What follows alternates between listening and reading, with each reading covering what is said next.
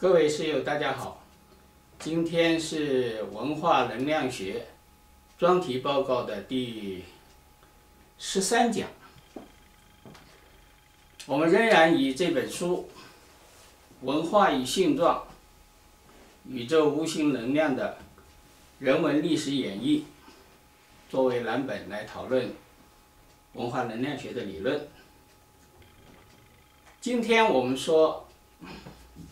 第一章，显态性状与隐态性状的本质关系，中间的第九节，本体人格化的信仰对象，神何以能存在？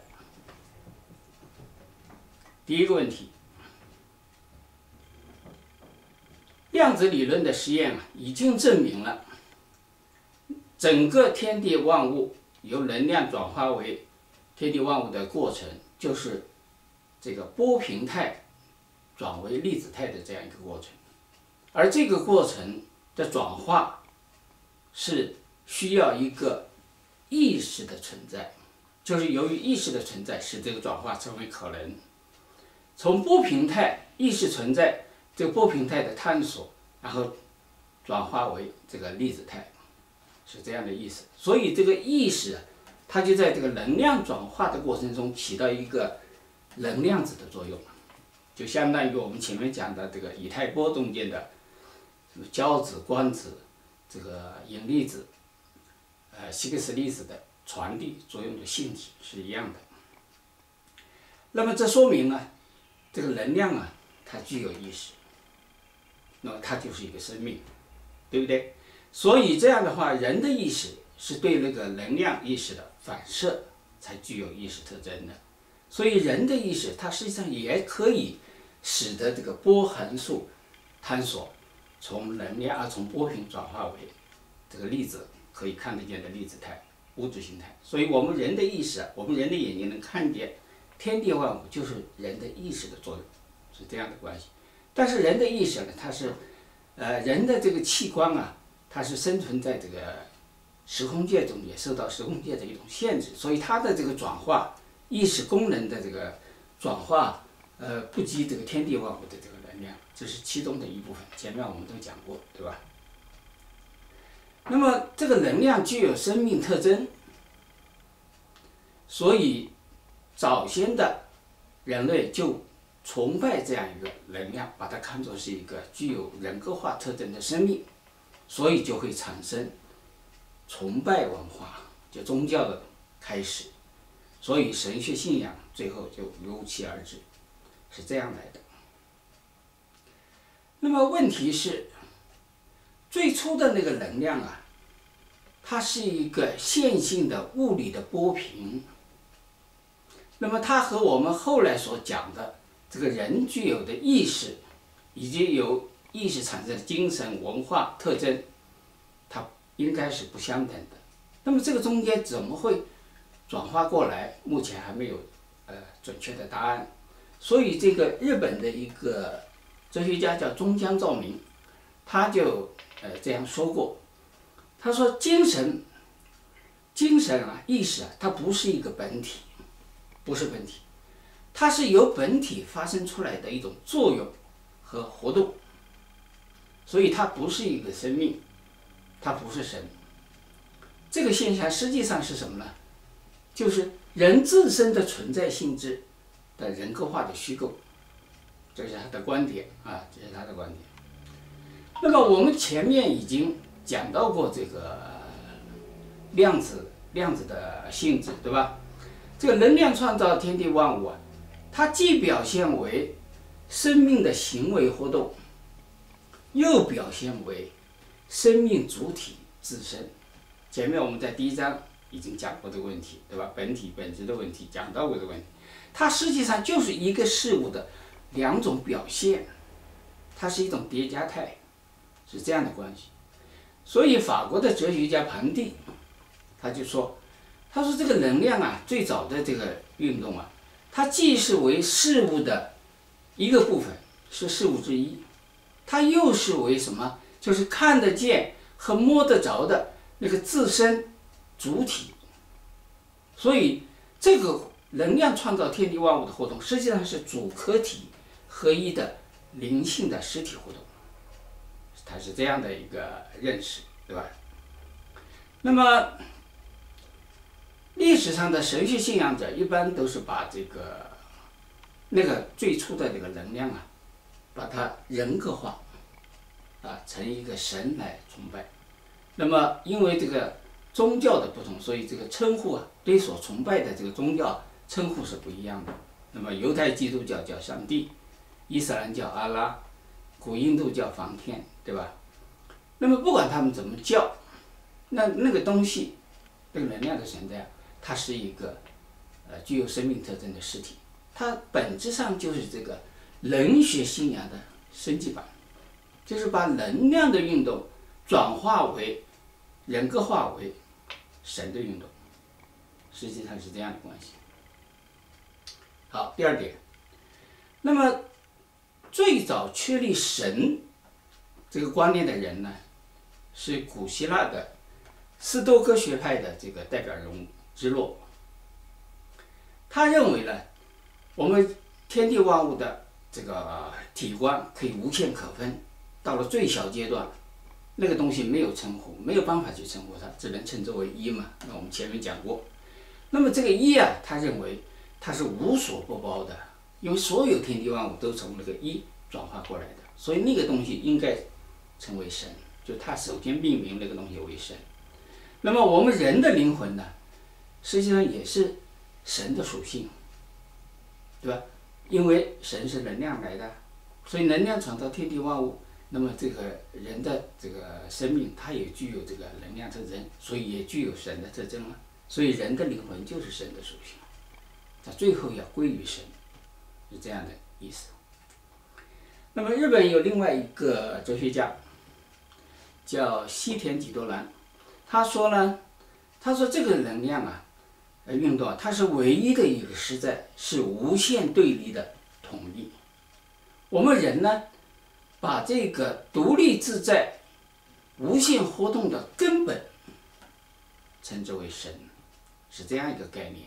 它是一个，也可以说是一个人，呃，虚构的、假设的这样一个一个称呼，这样的。那么，古希腊的另外一个学派，哲学学派叫埃利亚学派，它这个代表人物呢叫斯洛芬尼。他说，能量实体呀。虽然是以抽象的这个形式呈现出来的，对吧？它，但是它实际上就是一个唯一的神，哎，因为天地万物来自于无，所谓无就是没看不见的东西，那能量就是看不见的东西啊，所以能量创造天地万物就是从无到有啊，就是这样的关系。所以说，它不应该，因为它有很多不同的名称，因为人对它的认识不同，所以去否定它。啊，不应该否定它。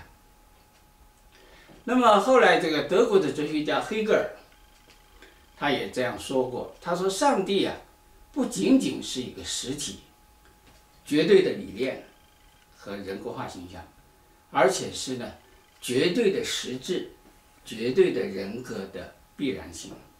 这也是他们哲从哲学这个角度来对那个神性的肯定，对吧？那么。”古希腊的时期呢，人们在有这个本体论，这是哲学。古希腊的哲学本体论是最早的一个流学派，呃理呃理论范畴吧。在这个本体论之前啊，这个神性观念它就存在，啊就存在。呃那个代表人物就是这个彼得格拉斯，他他认为世界上有神，他想用一种方法来证明神的存在，他用的方法就是数。他认为世界是数构成的，数可以去，呃，去追究出这个神的存在，啊，那么他的这个研究呢，是通过这个数的很多公式、定理、代数、函数，但是最后呢，可能没有给大家一个明确的结果。但是问题是，他所用的这些公式、定理、代数、函数，最后成为我们人类现代数学的基础。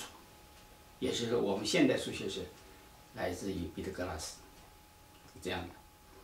所以，意大利的一个哲学家叫波伊修斯，他说：“没有数学知识啊，要想获得神圣知识是不可能的。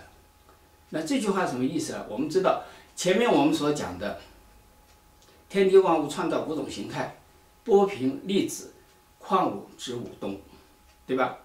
那么从波平到这个粒子是需要用数学知识的，那么再从粒子到矿物用物理知识，然后从这个矿物到植物呢，化学知识，再从植物到动物呢，生物学知识。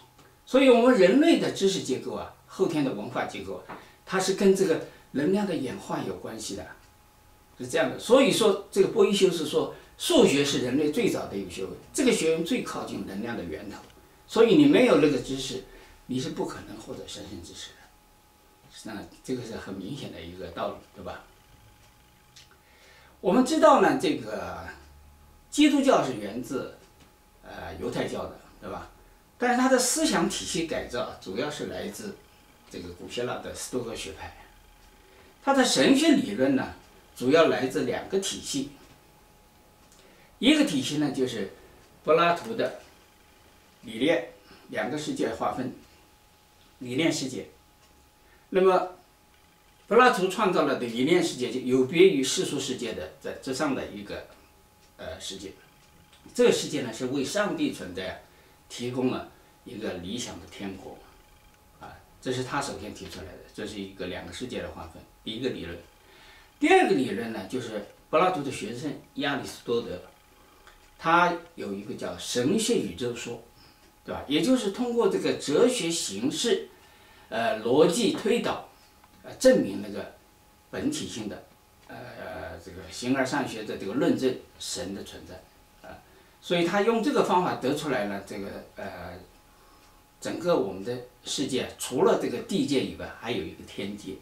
地界就是古希腊很多哲学家，呃，所探讨的整个世界来源于可以看得见的四种物质，就是水、气、火、土，对吧？那么天界呢，它就是第五种元素，就是和这个物质不一样的另外一种元素。那么这个元素就是这个呃神性的元素，能量的元素。这个才是第一，对吧？所以这个亚里士多德把这个呃无形的存在啊，这个能量啊，哲学本体化了。那么这个哲学本体化的结果就是产生了哲学神，这是亚里士多德的贡献。那么后来，这个古希腊最后一位哲学大师普罗提洛，他是继承了这个柏拉图的思想，对吧？是新柏拉图主义。他就把这个柏拉图的这个理念世界和这个亚里士多德的神学天界，它分为三个层次。这三个层次就是太一、心智和灵魂。太一，呃，心智就是我们前面讲的洛斯，对吧？第二个层次，洛斯是希腊语，呃，实际上就是心智。那么太一呢，就是原初的这个能量嘛。心智什么是是创造嘛？灵魂是，呃。人的生命嘛，是这样的意思。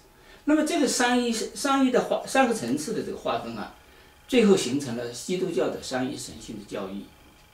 为什么这样讲呢？因为呃，基督教的三一神性就是呃圣父、圣子、圣灵，对吧？圣父就是太一，然后呢就是这个能，它这个太一就是能量的呃原初形态、原始形态。那么圣子呢，就是耶稣了，那就是创造，对吧？而灵魂呢，就是圣灵，就是见证。那么这三个东西实际上讲的什么什么东西呢？是讲的我们人眼所以看得见的天地万物这个形态之前，这个能量运动的三个形态。对于这个基督教来说，就是能量的三个位格，神的三个位格。是这样的一个关系，那么同时他们认为，他认为呢，这个呃人的这个这个生呃生命能量创造的这个生命啊，最后呢，它是要返回太一的，返回能量的原初状态。为什么？因为能量要运动嘛，是吧？所以人有生死，它是有这样一个运动规律，所以人是最后他是要返回这个。灵魂最后返回神的，是这样一个关系。那么，真正使这个能量啊人格化成神的这样一个形象，成为上帝，成为我们最信仰的、崇拜的最高的实体神，呃，主要依赖这个后面三位大师，他们都是意大利的，呃，宗教哲学家和神学家。一位是这个奥古斯丁，呃，这是主教，呃，另外一个是安瑟伦，也是主教，托马斯也是主教，托马斯阿奎拉。那么其中里面，呃，上帝的这个存在本体论的存在证明是由这个安瑟伦完成的。他是把那个，呃，亚里士多德的那个哲学神啊，把它经过他的这个，呃，经验主义认识论证，把它转变为实体的宗教神，这是他的贡献，对吧？那么奥古斯丁呢，他是完全继承了。呃，古希腊最后一位哲学大师普罗提洛的这个三一神性的呃观念，对吧？这个教义，他认为上帝呢是第一性的独立的实体，啊，然后他写了一本书叫《上帝之城》，上帝之城，这个上帝之城呢，他他写的目的啊，呃，主要是为当时的他所在的那个。古罗马的一个社会乱象，他看用自己的这种表达方法来甄别争辩现实的一个目的写出来的。那么他在这个书里面表示了两种爱，第一种呢，他是以这个亚亚当的这个长子叫该隐，呃，他认为该隐呢很自私啊，只知道荣耀自己去统治他人，所以呢，他认为该隐所建立的一个城呢，应该叫世俗城。你看。为什么呢？因为他嫉妒他的弟弟，他最后杀掉了他的那个弟弟，也就是亚当的第二个儿子。他是为了统治别人，为了荣耀自己，他从来不不荣耀上帝。这是第一种性质的称。那么第二种性质的称呢，就是这个亚当的第三个儿子叫赛特。呃，赛特呢很虔诚，对吧？尊尊崇上帝，信仰，呃，很有信仰，爱，呃，具有这个上帝平等之爱。所以呢，他认为这个这两种啊性格的人建立了两种不同的城，对吧？那么结果呢，就是两个两分，结果就是永罚和永福。那么遵从上帝的人就得到永福，不遵从上帝的人最后得到永罚。他是用这样一个呃叙述方法来解释当时的古希腊罗马的历史啊为什么会走向衰落。他是用这样的一个方法来写，呃，解释这个历史的，对吧？实际上，他是用这个古希腊和罗马的这个历史事实、实证的事实，来论述我们人类终极意义的，呃，目的论的历史历史观。它实际上起到这样一个作用。那么第二个人物就是安瑟伦，刚才我们讲了，安瑟伦就是以理性逻辑的哲学这个推理。呃，来论证这个上帝的呃实体性存在，宗教神的存在。他的代表作呢，就是《论三一信仰》，三一合一，呃，上帝何以成人等等啊，很多。那么也就是把这个上帝呢人格化，啊，成为一个完美的叫天启形象。那什么叫天启形象呢？就是说这个上帝啊，不是我们人类造出来的，它就是它自然存在，哎，就像能量一样，它。它能量产生，宇宙产生能量来产生天地万物，它当然是自然存在的一个形象，不是靠我们人类去编造、虚构。他要强调这一点，对吧？所以他认为这个，呃，客观事物啊，它的实体性它是普遍存在的，所以神也是普遍存在的。所以这个神呢，它是一种天启神学，它不是我们人类后天的文化，呃，给它强加在上去的，是这样一个意思。那么第三个人物就托马斯阿奎拉。他认为这个神学啊，他也一样了，认为神学不是自明原理，不是说我们啊自己通过学习掌握了一些知识，知道了这个神学道理，不是的。他说神学是来自启示的，所以这个神学信仰它要高于理性，神学的信仰高于我们人类通过后天的智慧理性来这个呃理解的事实是这样的。所以他认为人类的哲学啊。是为神学的婢女，是这样的意思。那么他认证这个上帝呢，有个著名的叫五个论证，论证上帝存在。那么这五个论证的性质呢，大体上一样的。呃，我们先举第一个例子，他说这个，他以运动作为例子，他说任何物体呀，比如说 A 物体，它会运动，一定有一个原因。所以如果说这个 A 物体的运动是由于 B 物体的运动推动的，那么 A 物体运动的这个推动者就是 B，但是 B 物体它也不是自动的，它很可能又是由另外一个 C 物体来运动推动它的。那么这个时候呢？这样一连串的下去，最后他说应该有一样东西，他推动别人，但是自己不被别人推动，它这个东西就是上帝，这是他的论证，很有意思。那么我们这个情况前是我其实我们前面已经讲过这个这个能量的实体性了，神的实体性，就是什么叫实体呢？就是它能产生别人，别人不能产生它的东西，就是实体。所以这个上帝它一定是个实体，啊，能量就是实体，是这样的意思。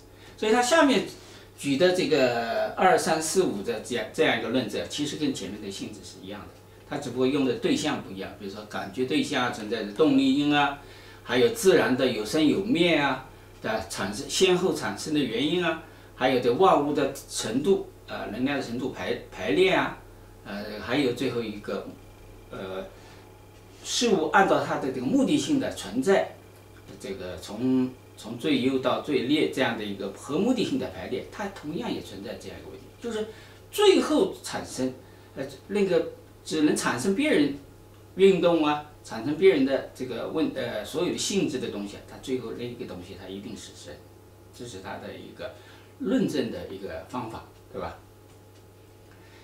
那么这三位大师啊，他们的统一性质就是认为这个神啊是天启的，它不是我们人类后天。做的，呃，它是一个实体性的东西存在。那么这个存在，由于它本身是一个抽象无形的东西，对吧？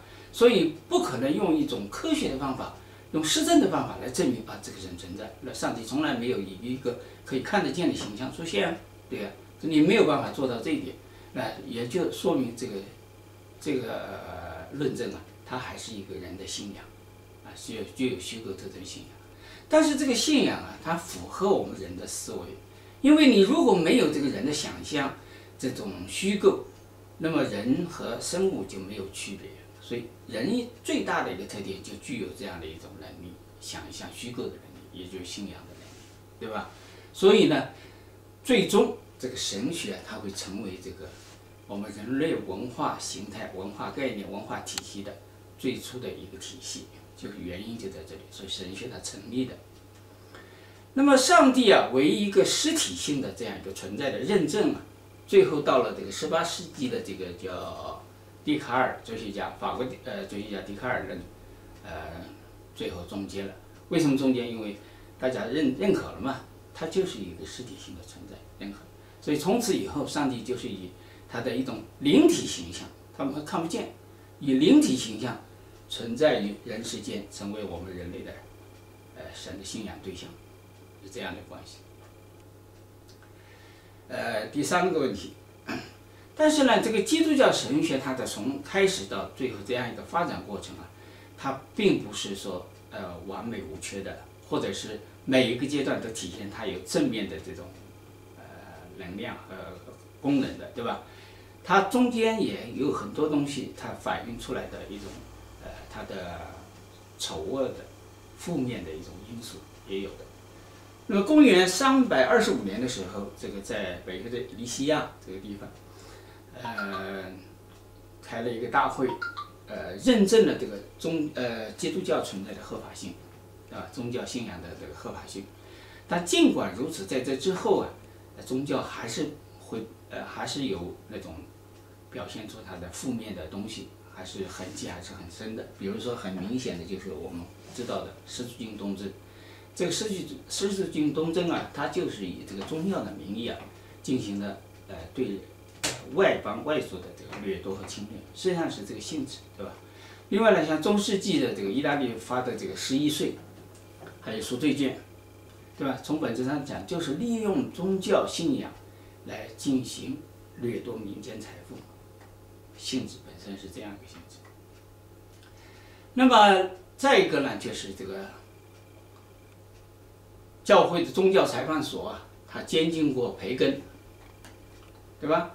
然后谴责过波兰天文学家哥白尼，看到，那么也审审判过这个意大利的呃科学家、物理学家伽利略，还烧死过意大利的哲学家布鲁诺，是吧？这个是事实，没有办法回避。那么，特别是在这个基督教的旧约、圣经的旧约这一部分中间，这个上帝这个形象，他的这个并不完全是一个博爱者，他呃基本上可以认为是一个战神，啊是一个神战神，他是一种具有战斗呃性质的神。有学者记载过这个有关圣经中间呃诛杀的这个人啊。诛杀的这个人类啊大概有九万零五千一百五十人，有人统计过，但没有考证啊。呃，就说明就是说，它是一种战神，它不是完全一种博爱的形象啊，比较有这种呃征服的这个特征。那么另外呢，他还下狱，上帝下狱，这个他的崇拜者亚伯拉罕，呃，杀掉自己的儿子给自己献祭，呃，这是也是圣经中记载的。当然，最后是以这个羊替代了。但不管怎么样，这样的一些事情呢，呃，不是很很光光明的，是这样的关系。再一个呢，就是这个圣圣经的这个描述，对神的这个描述啊，就是把这个信仰和人的感知对象混淆在一起。就比较典型的就是这个耶稣这个形象在圣经中的表现，因为神。耶和华，它是一个我们说是能量的人格化，它是一个神性能量，看不见，对吧？那么耶稣呢？神的儿子，那么神的儿子应该也是跟呃耶和华性质是一样的，但但是耶稣这个形象在圣经中间就是一个平民，就是玛利亚在马厩中出生的儿子，是这样的东西。那么为什么以这样的形式来描述呢？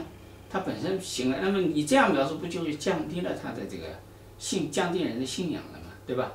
所以丹麦的一个哲学家叫克尔凯郭尔，他就这样说，他说上帝在圣经中以这个人的形象、实体性被生长，呃，成成长成人，他这就是一个悖论，跟你的信仰是背道而驰的，这不一样了，所以你会降低了你的信仰，对吧？所以还有这个英国的一个牛津大学的一个教授，叫道金斯，他写了一本书叫《上帝之错觉》，那么他就指出，上帝这个形象是是人的一个幻觉，他认为，他说是人把虚构的这个概念和这个感知的实体对象把它连在一起了，实际上它是一个虚的东西，它是一个人虚构的呃假设的一个形象，他是这样呃认知的，认为。那么，在一八五九年的时候，这个英国的一个生物学家达尔文，他发表了《物种起源》嘛，呃，生命来自，他认为生命来自单细胞的这个进化。那么这个学说呢，冲击了当时的这个神学信仰的神创论，因为神创造世界是因为神来自能量的人格化，所以能量创造世界就是神创造世界，所以神创论啊，在当时受到了这个新的这样生命的起源的理论的冲击。一八六零年，第二年，有一场世纪辩论，就是神创论和进化论的呃辩论，最后达尔文赢了，对吧？但是问题在哪里呢？问题在百年之后啊，一直到今天，这个神创论并没有消失，反而进化论在某些地区被限制进入课堂。哎，这个事情很有意思，为什么？其实道理很简单。进化论是什么？进化论是生命从矿物中间单细胞的演化成为植物和动物，对不对？但是我们前面所讲，能量创造天地万物一共有五种形态，而矿物并不是最原始的形态，啊，所以我们现在人把矿物叫做呃能源，其实是错误的，它不是能量的本源，啊，矿物本身是由粒子。产生的粒子是由波频产生，那前面还有一大一大段的这个生命的，呃，这个演化，只是那个生命呢比在处在微观，如此而已。所以这样一来呢，就是，呃，这个这个进化论啊就受到了这个这个冲击嘛，因为它不能代表生命的起源，它只是最充充其量使生命从看不见的形态变成看得见的形态这一段描述而已，啊是这样。所以说呢，这个神创论并没有倒下来。现今这个基新基督教的人超过了二十二十几个亿，现在可能也不止了，对吧？呃，这个数量要超过伊斯兰教和佛教的总数。整个世界的有神论者差不多占到人口的百分之八十五，目前。那么基其中基督教就占到了三呃百分之三十三，超过三分之一了。那么呃，而且很明显的就是在整个世呃世界范围。凡是信仰基呃有信仰基督教的这样的一个国家，它的文明程度和发达指数，基本上是领先的。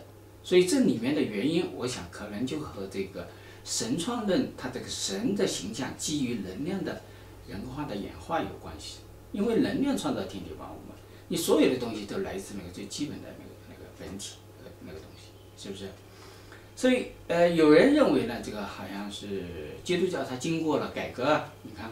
美国的马丁路德，法国的加尔文对这个宗教进行了改革，那么最后产生了一个新教嘛。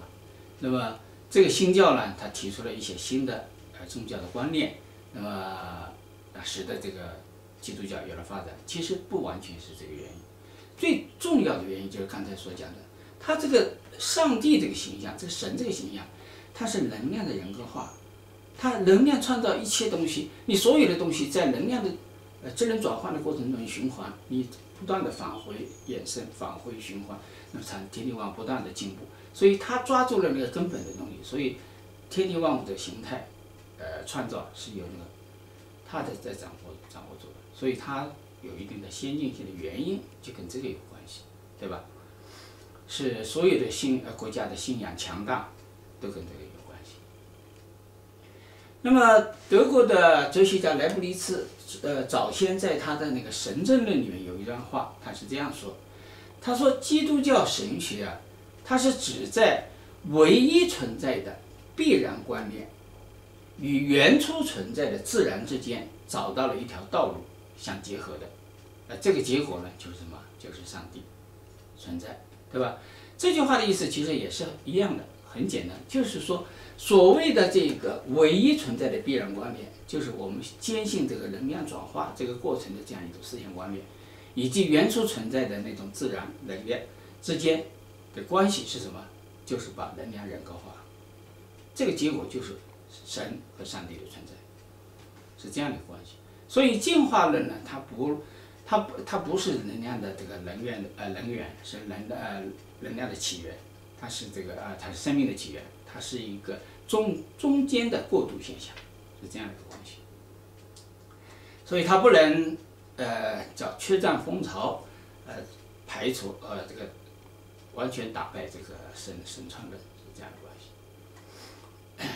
但是呢，这个玄学的这个呃信仰啊，神学信仰它是一种玄学信仰，它和这个科学论证是不一样的。比较典型的反映在这个圣经中间的很多这种历史呃历史叙事。呃，这些历史叙事呢，一般讲都是经不住这个历史考呃历史这个验证的，对吧？最典型的呢，就是圣经中间的出埃及，呃这一章，就是由这个摩西带领着这个以色列族人从埃及返回这个迦南这样这一段，路过红海，其中呢，我们大家都知道，就是当族人以色列族人通过这个红海的时候，这个。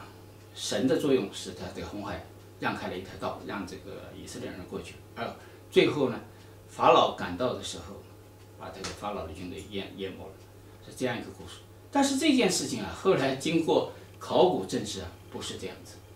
呃，是什么一个原因呢？就是首先这个红海啊，它不是红海，是芦苇海，因为红红海和芦苇海之间相差一个字母 e，红海是 r r e d。